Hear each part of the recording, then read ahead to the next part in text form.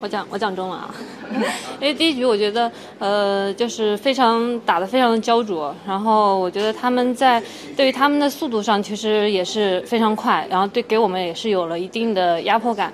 但是到了第二局，我们可能在发接发上做的会比较好一些，所以呃迫使比赛没有进入到多拍，然后我们可能就能得分，嗯。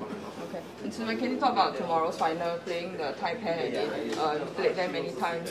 You know they are not easy to play. Uh, how will you play tomorrow's final?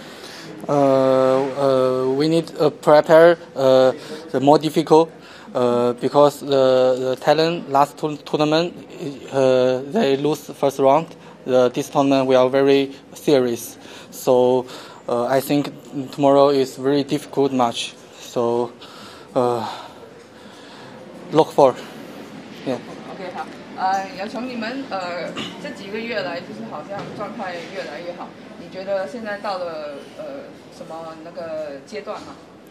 呃，其实我觉得我们两个其实不同之前呢，可能两个人心态可能更加平稳。